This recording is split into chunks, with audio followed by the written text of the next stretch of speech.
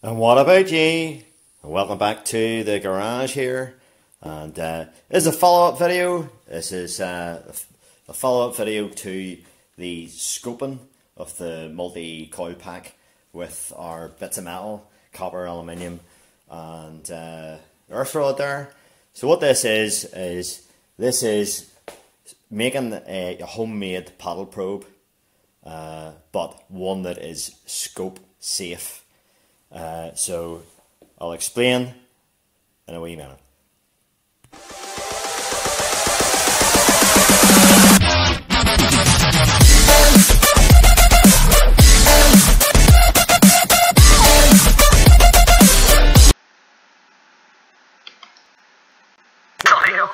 So, yeah, looking good. So we'll swap them leads over. Just keep that light off. Huh?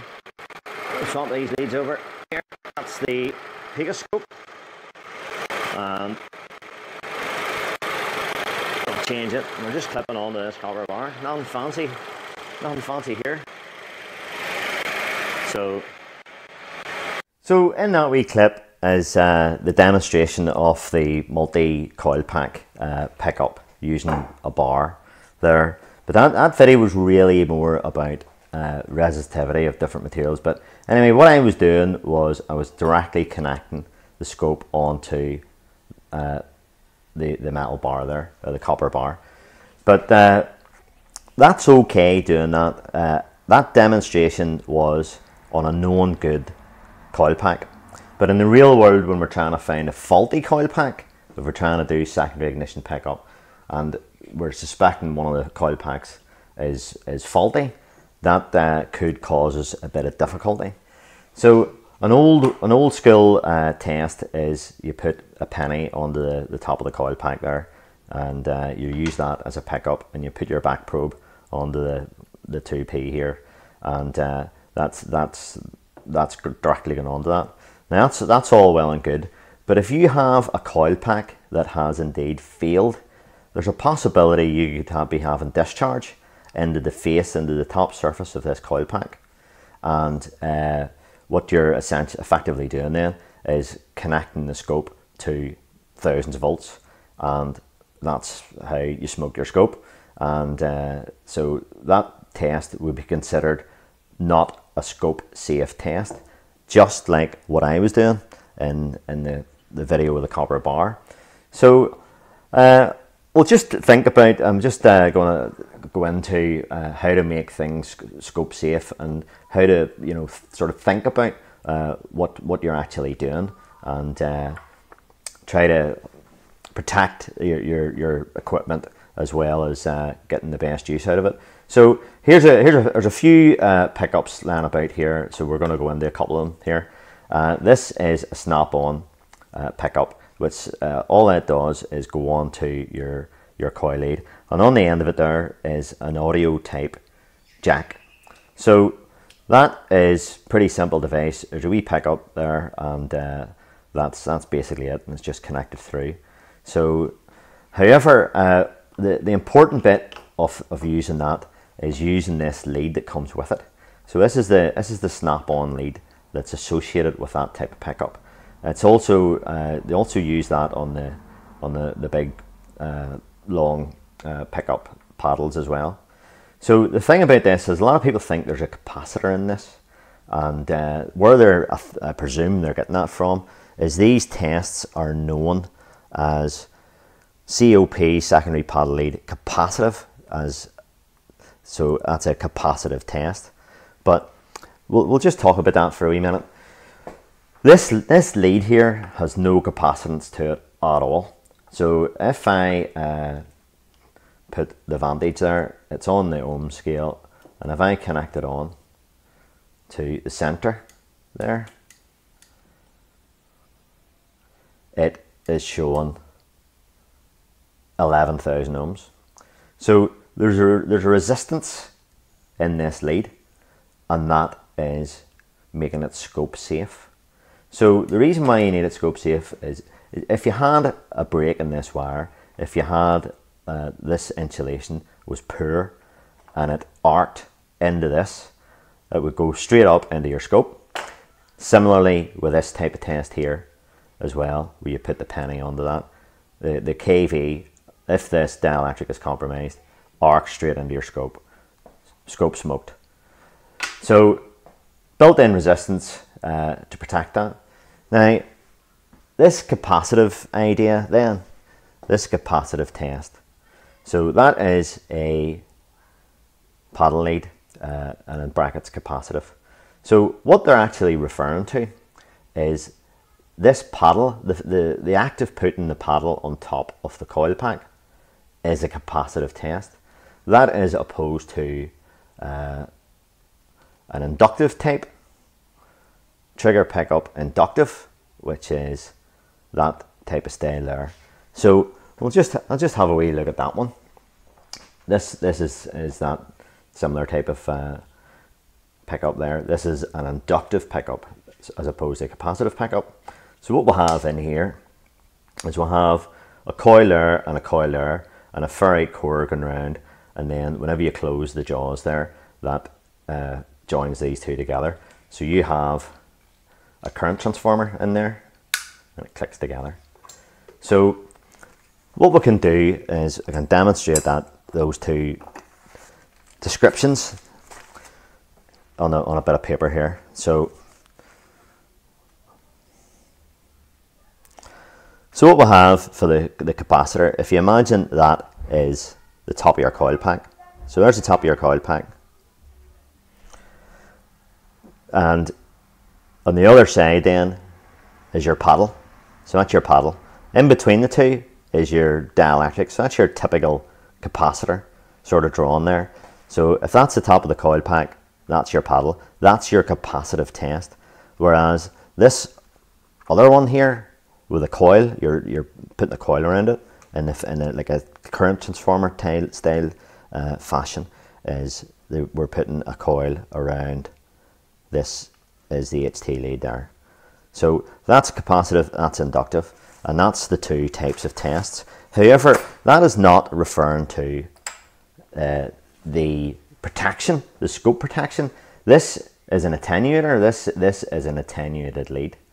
So if we go into, if we go back into that uh, paddle probe there again, this capacitive test, uh, capacitive tester, this capacitive test, is indeed attenuated.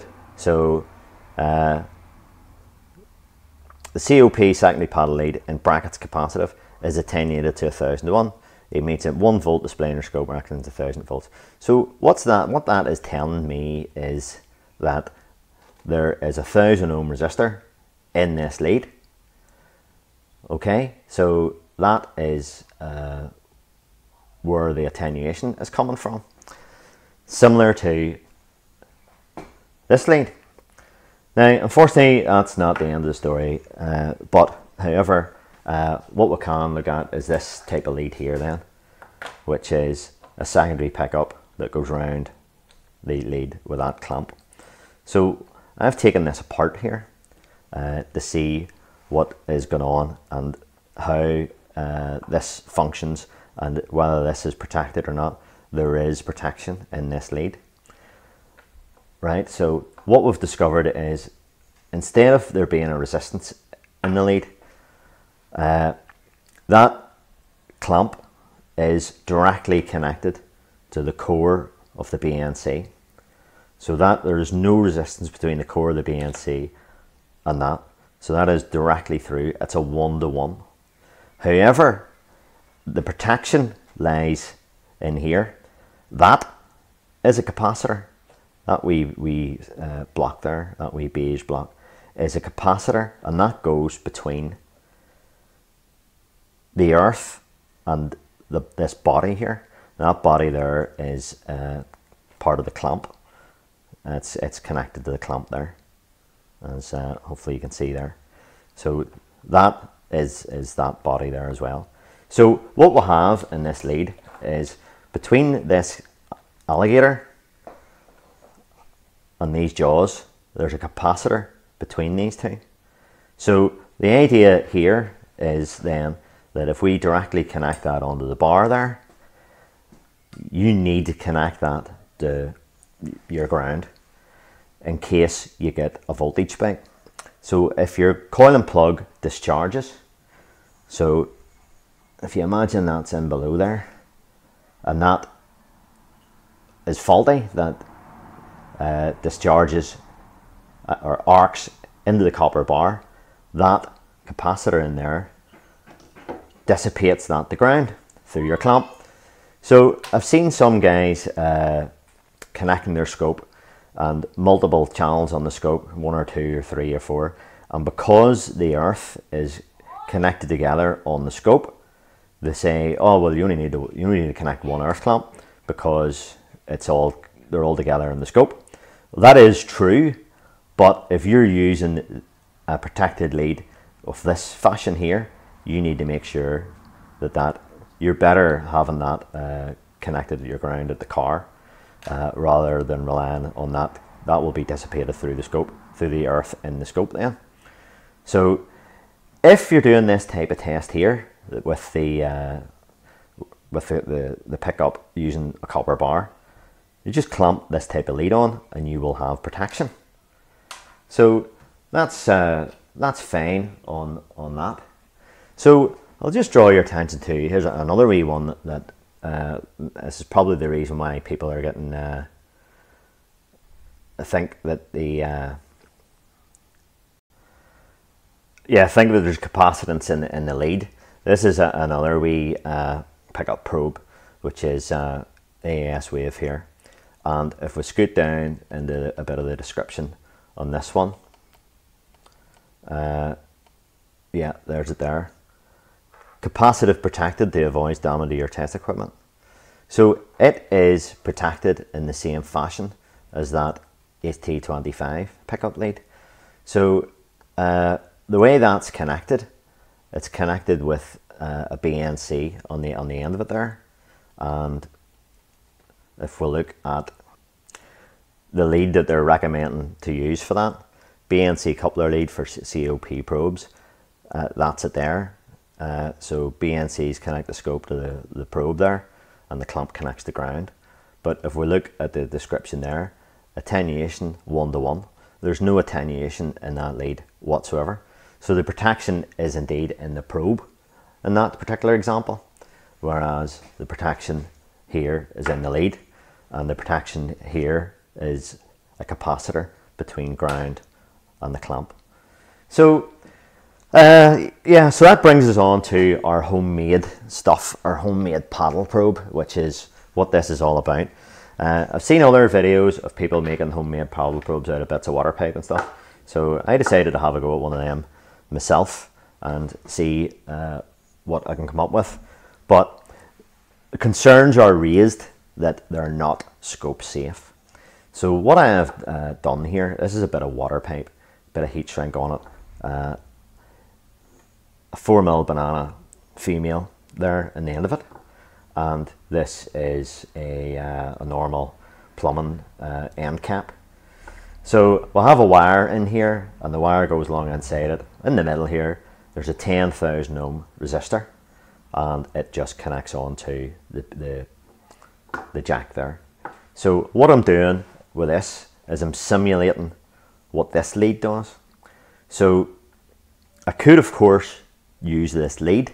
I could just put an audio female in the end of this and plug that lead in and away we go. Uh, but what I've elected to do is to make this completely separate from that lead and I can just use uh, an ordinary an ordinary uh, an ordinary 4 mil lead with a cartilage clip on it or something. Uh, I can use my ordinary leads with this. So I'm going to give this a test and, and see what happens, but we'll have to be aware that there's a 10,000 ohm. I've basically built in an, attenuate, an attenuation into this probe and it's simulating the way that this, this, this lead here is basically an attenuator. Whereas this lead, I'll just uh, point out, just to make it clear, that that lead there is directly connected to here and that is one to one then. That is one to one, that'll be one to one in your scope. So uh, it does describe these here as 10,000 to 1, but it's a 10,000 to 1 decay is, is what it actually is. And what it's referring to is that it'll dissipate uh, the, the 10,000 volts uh, across that capacitor uh, with a with a decay with a, a sliding scale of a decay. So we'll give this uh, wee paddle probe a bit of a test out on the car here and uh, see what kind of uh, output it gives us. See if it's worthwhile making one of these. Um, failing that, if this does work out to be uh, no good, it didn't cost any money. But as I say, what you're probably better doing is using that onto that. Uh, so if it was a single, if it was a single coil on plug like that there, you could cut a bit of copper down, uh, two inch square or something like that, and uh, just clip that onto it, and uh, it's a, you've got uh, you've got a protected uh, a protected pickup. Okay.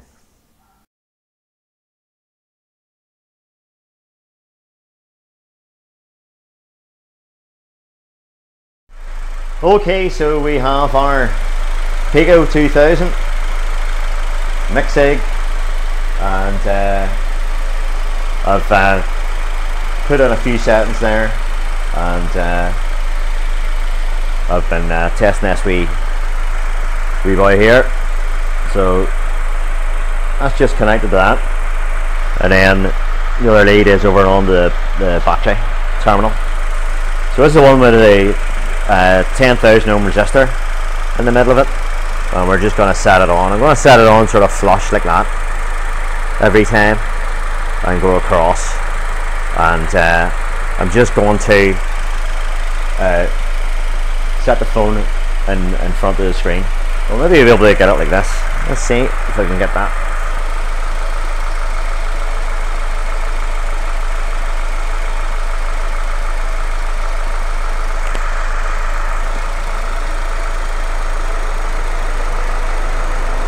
So there's the capture there on the Pico. If you can see it, I'm sort of stretching here. I'm holding the, the camera one hand now.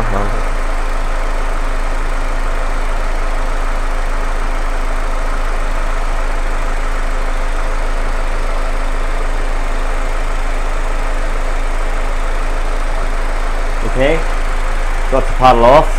So we'll just change the lead over and just pull that lead out just like another mix out.